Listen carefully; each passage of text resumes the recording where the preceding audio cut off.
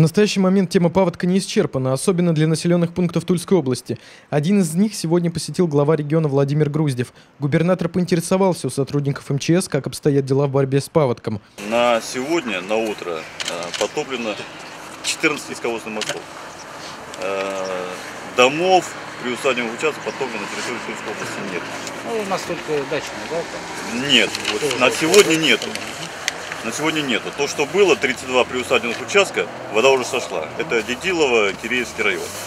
Э, По прогнозу, значит, э, первый пик паводка по Туле, по УПе, по УПе прошел э, где-то вчера-позавчера. Всего из разлива Упы в населенном пункте Крапивинская отрезанными оказались более 600 жителей. Помощь осуществляется силами трех десятков человек и 12 единицами техники. То есть сейчас УПА каждый день дает минус 10 сантиметров.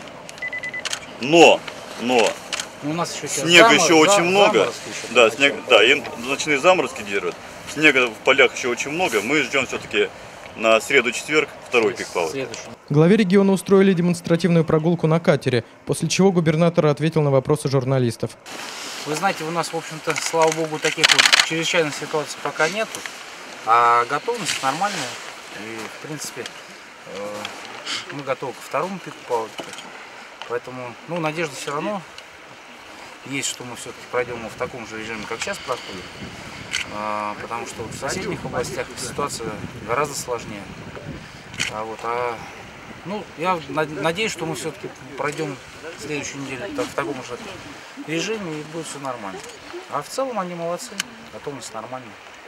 Станислав Абрамов, Сергей Фоночкин, Телетула.